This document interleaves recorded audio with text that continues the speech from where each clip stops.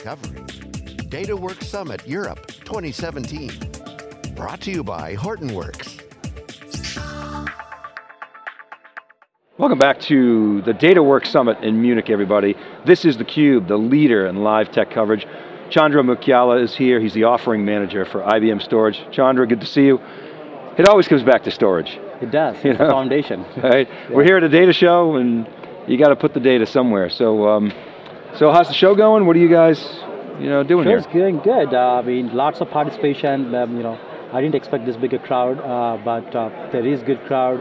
Uh, storage, you know, people don't look at it as the most sexy thing, but I still see a lot of people coming and asking, what do you have to do with Hadoop? Kind of questions, which is exactly the kind of question I expect.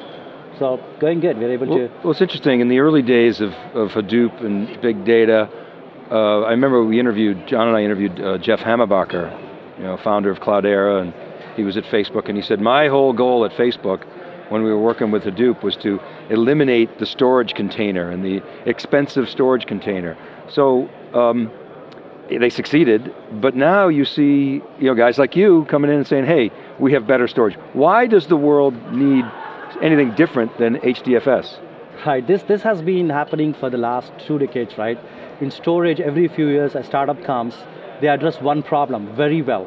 They address one problem and create a whole storage solution around that, and everybody understands the benefit of it, and that becomes part of the main storage. And when I say main storage, because these new point solutions address one problem, but what about all the rest of the features storage has been developing for, for decades? Uh, same thing happened with uh, other solutions, for example, deduplication. Very popular, right, at one point, dedupe appliances. But nowadays, every storage solution has dedupe in it. I think same thing with uh, HDFS, right? HDFS is purpose built for Hadoop, right? It solves that problem in terms of giving uh, local access storage, scalable storage, big pool of storage but it's, it's missing out many things. You know, one of the biggest problems they have with HDFS is it's siloed storage, meaning that data is only available, the data in HDFS is only for Hadoop. You can't, what about the rest of the applications in the organizations who may need it through traditional protocols like NFS or SMB, or they may need it through new applications like S3 interfaces or Swift interfaces. So you, you don't want that siloed storage. That's one of the biggest problems we have. So you're putting forth a, a, vision of some kind of horizontal infrastructure that can be leveraged across your application portfolio. Yes. Um, how common is that? Uh, and, and, what's the value of that? It's, it's not very common. That's one of the stories we're trying, messages we're trying to give out, right? You know, I've been talking to data scientists in the last one year, a lot of them. One of the first things they do when they're implementing a Hadoop project is they have to copy a lot of data into HDFS because before they can ingest the data into HDFS, they can't run any analytics on it. That copy process takes days. It's a big move, about, yeah. It, it's, it's not only take wasting time from a data scientist, but it also makes the data stale. So, and I tell them you don't have to do that if your data was on, you know, something like IBM Spectrum Scale. You, you can run Hadoop straight off that. Why do you even have to copy into HDFS? You can, you, you can use your same existing applications, MapReduce applications, with zero change to it and point them at Spectrum Scale it'll, you can still use the HDFS API. Uh, you don't have to copy that. And every data scientist I talk to is like, really? I don't have to do this, I'm wasting time? Yes.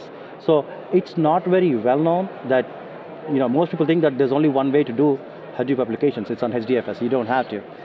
And the advantages there is, one, you don't have to copy, you can share the data with the rest of the applications, um, but and it's, it's no more stale data, but also one other big difference between the HDFS type of storage versus shared storage is, in the shared nothing model, which is what HDFS is, the way you scale is by adding new nodes, which adds both compute and storage. What about applications which don't necessarily need more compute? All they need is more throughput. You're, you're wasting you know, compute resources, right? So there are certain applications where shared nothing is a better architecture. Um, now, the solution which IBM has will allow you to de deploy it in any, either way, shared nothing or shared uh, shared storage, but uh, that's one of the main reasons, you know, people want to, Uh, data scientists especially want to look at these alternative solutions for storage. So when I go back to my Hammerbacher example, it worked for Facebook in the early days because they didn't have a bunch of legacy data hanging around. They could start with pretty much a blank piece of paper, yes. re-architect it, plus they had such scale, they probably said, okay, we don't want to go to EMC and NetApp or IBM or whomever and buy storage, we want to use commodity components. not every enterprise can do that, is what you're saying. Yes, exactly. It's probably okay for you know somebody like a, a, very large search engine when all they're doing is analytics, nothing else. But if you go to any large commercial enterprise, they have lots of data. The whole point around analytics is they want to pool all of the data and, and look at that. Uh, so find the correlations, right? It's not about analyzing one small, one data set from one business function. It's about pooling everything together and see what insights can I get out of it. And uh, so that's one of the reasons it's very important to have support to access the data for your legacy enterprise applications too, right? Um, yeah, so it's NFS and SMB are important, so are S3 and Swift, but also for these analytics applications, you know, one of the things, one of the advantages of IBM solution here is we provide local access to the file system, not necessarily through NAS protocols like NFS. We do that, but we also have POSIX access to have direct local access to the file system. That's one of the, with that, you don't, with HDFS, you have to first copy the file into HDFS, you have to bring it back to do anything with that. All those copy operations go away. And this is important, again, um, in an enterprise, uh, not just for data sharing, but also to get local access. So you're saying your, your system is Hadoop ready? It is. Okay, and then the other thing you hear a lot from, from IT practitioners anyway, not so much from the line of businesses, that when people spin up these Hadoop projects, big data projects, they go outside of the edicts of the organization in terms of governance and compliance and often security. Right. How do you solve, do you solve that problem? Yeah, that's another reason to consider, uh, again, that enterprise storage, right? It's not just because you have you're able to share the data with the rest of the applications, but also a whole bunch of data management features, including data governance features. You can talk about encryption there. You can talk about auditing there. You can talk about features like WORM, write once, read many, right? So data is, you know, especially archival data, once you write, you can modify that. There are a whole bunch of features around uh, data retention, you know, data governance. These are all part of the data management stack we have. Uh, you get that for free. You not only get universal access, unified access, but you also get data governance. John, is this one of those situations where, you know, on the face of it, when you look at the CapEx, you say, oh, wow, I can use commodity components, save a bunch of money. You know, you remember the client server days. Um, oh, wow, cheap, cheap, cheap, microprocessor-based solutions, and then all of a sudden, people realize we have to manage this. Is, are we seeing a similar sort of trend with Hadoop, where the the ability to, or the complexity of managing all this infrastructure is so high that it actually drives costs up uh, actually there are two parts to it, right? The, there is actually value in utilizing commodity hardware, industry standards. That, that does reduce your cost, right? If I can just buy a standard x86 server with a storage server and utilize that, why not? That is going to reduce the cost. Right. But, but the real value in any kind of a storage data management solution is in the software stack, not the hardware. Yeah, you can reduce your capex by using industry standard. It's a good thing to do, and we should, and we support that. But in the end, the data management is, is there in the software stack. Um, what I'm saying is HDFS is solving one problem, but it's missing out the whole other data management problems which we just touched on. And that all comes in software, which could run on industry standard servers. Well, and you know, it's funny, I've been saying for years that if you, if you peel back the onion on any storage device, the vast majority anyway, they're all based on standard components. It is, yeah. It's the software that you're paying for. So it's sort of artificial in that you know, a company like IBM will say, okay, we've got all this value in here, but it's on top of commodity components, but you're going to, we're going to charge for the value. Correct. And yeah. so if you strip that out, sure, you can do it yourself. Yeah, exactly. In the, yeah, in the end, it's all standard servers. It's been like that always.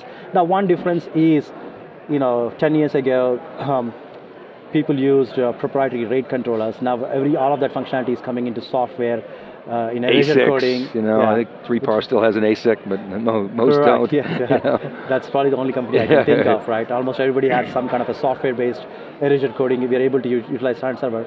Now there is an advantage in an appliance model because yes, it can run on industry standard, but this is storage. This is where you know, that's the foundation of all of your infrastructure, and you want RAS, right? You want reliability and availability. The only way to get that is a fully integrated, tight solution where you're doing a lot of testing on the software and the hardware. Yes, it's supposed to work, but what really happens when a drive fails? How does the system react? And that's where I think there is still a value for integrated systems. And if you're a large customer, you have a lot of storage savvy, storage savvy uh, administrators, and they know how to build solutions and validate it.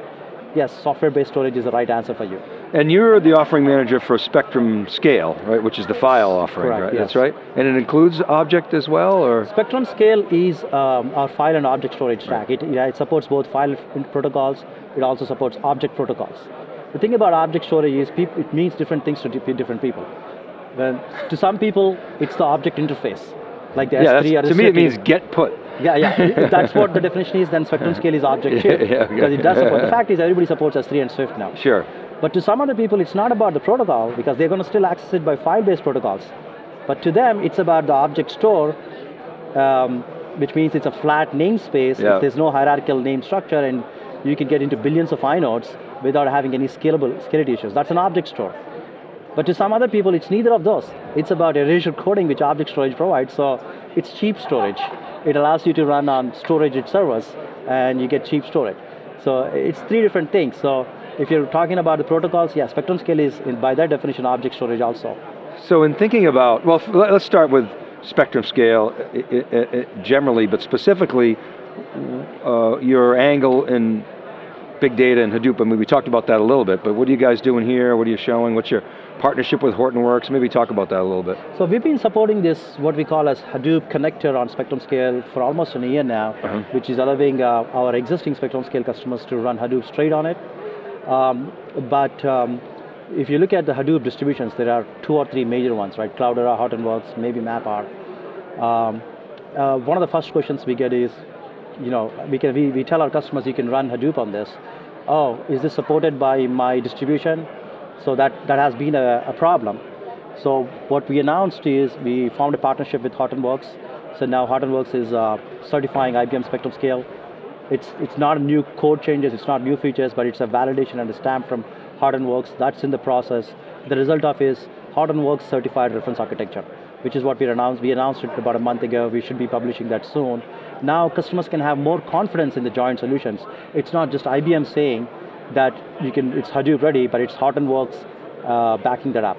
Okay, and your scope, correct me if I'm wrong, is sort of on-prem and hybrid, Yes. not cloud services. That's kind of, you might sell your Correct. So, technology uh, inter- internally, but Correct. So IBM storage is you know primarily focused on on-premise storage. We do have a separate cloud division, but almost every IBM storage product today, Spectrum Scale included, which is what I can speak of, are we, we treat them as hybrid cloud storage. What we mean that is we have built-in capabilities. You know, if we have, we have a feature most of our products called transparent cloud tiering. It allows you to set a policy on when data should be automatically tiered to the cloud. Everybody wants public cloud, everybody wants on-premise. Obviously, there are pros and cons of on-premise storage versus off-premise storage, but basically boils down to if you want performance and security, you want to be on-premise. But there's always some data which, which is better to be on in the cloud, and we try to automate that with, with our feature called transparent cloud tiering. You set a policy based on age, based on the type of data, based on the ownership.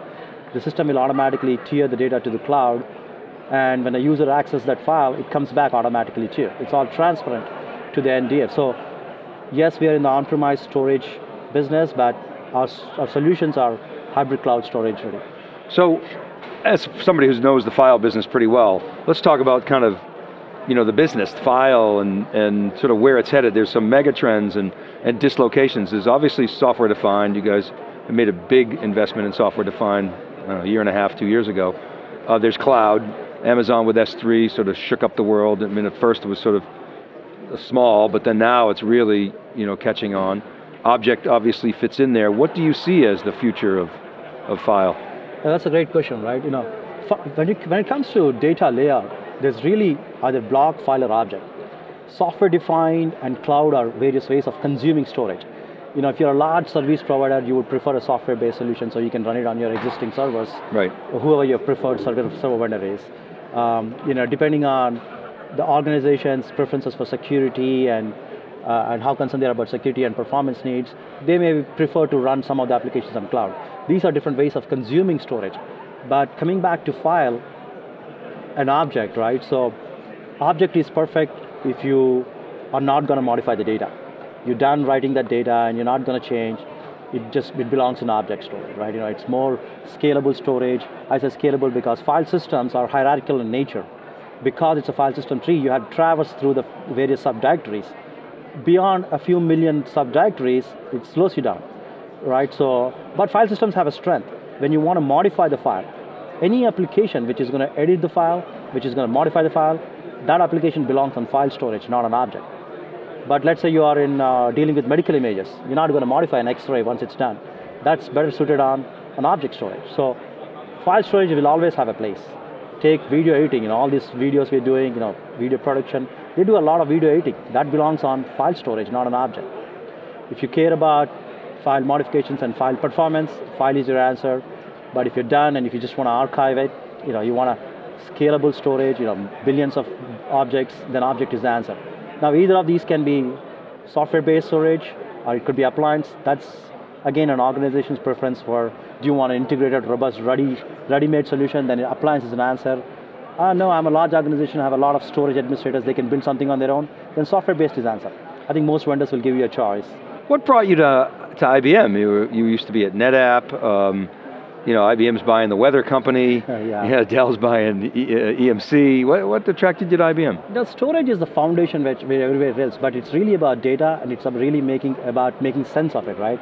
And everybody's saying data is the new uh, oil, right? Uh, and IBM is probably the only company I can think of which can actually, which has the tools and the IP to make sense out of this, right? So NetApp, it was great in uh, early 2000s, right? You know, I mean, I, even as a storage foundation, they have issues with, with scale out and you know, a true scale out, not just a single namespace. Um, EMC is a pure storage company. Um, you know, in the future, it's all about, you know, the reason we are here at this conference is about analyzing that data. What tools do you have to make sense of that? And that's where, you know, machine learning and deep learning comes, you know. Watson is very well known for that. IBM has the IP and it has the right research going on behind that. And I think, you know, storage will be make more sense here. And also, it's IBM is doing the right thing by investing, you know, almost a billion dollars in uh, software-defined storage. They are one of the first companies who did not hesitate to take the software from their integrated systems. And- For example, XIV, and made the software available as software only. We did the same thing with uh, with uh, Storwize. We took the software of it, made available as uh, Spectrum Virtualized. You know, we did not hesitate at all to take the same software which was available to some other vendors. I can't do that. I'm going to lose all my margins. We didn't hesitate. We made it available as software because we believe that's there's that's an important uh, need for, for our customers. So the vision of the company, cognitive, uh, the halo effect of that business, that's the future, is going to, to bring a lot of storage action, is sort of Yes. the premise there. Excellent. Well, Chandra, thanks very much for coming on theCUBE. It was great to have you. And uh, you know, good luck with uh, you know, attacking the big data world. Thank you, Dave. All right, you're Thanks welcome. for having me. You're welcome. Uh, keep it right there, everybody. We're back with our next guest. We're live from Munich. This is DataWorks 2017. Right back.